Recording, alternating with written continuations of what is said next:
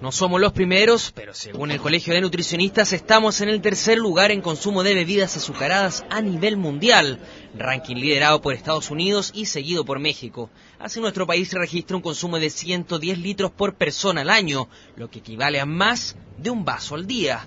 Con estos altos niveles han surgido algunos mitos. Por ejemplo, ¿son más sanas las gaseosas blancas que las colas que poseen cafeína?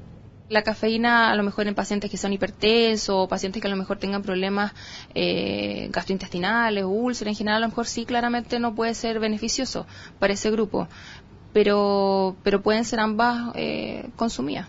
Hoy la oferta de bebidas light o cero se ha abierto un espacio importante en el mercado, pero existen diferencias entre ellas son básicamente los mismos, lo que pasa es que la diferencia de las cantidades de los edulcorantes es lo que hace el, el, no sinónimo, por ejemplo, de la, Coca-Cola Light o la Coca-Cola Cero, pero son básicamente los mismos ingredientes. En nuestro país el consumo de bebidas está asociado a las fiestas, celebraciones, pero cada vez es considerado como la principal fuente de hidratación según los nutricionistas. Por eso, los niños inevitablemente se ven expuestos a su consumo cada vez a más temprana edad. ¿Cuál es la alternativa más recomendable para ellos?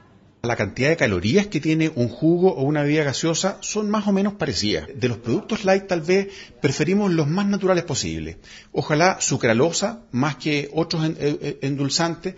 Y, y, la verdad es que si es ocasional y las bebidas no van a ser del día a día, tomarse una bebida con aspartamo tampoco va a ser malo. Y otro de los mitos asociados al consumo de bebidas es la posible aparición de celulitis en el caso de las mujeres, pero las nutricionistas son enfáticas que esto no tiene respaldo científico. Yo creo que eso es más mito.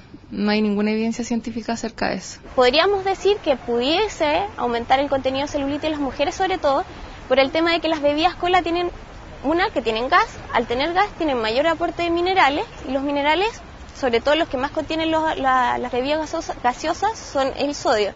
Mitos y realidades a tener en cuenta, sobre todo cuando los niveles de obesidad en nuestro país cada día son más altos y el consumo de este tipo de bebidas no pretende disminuir. Sebastián Fuentes, CNN Chile.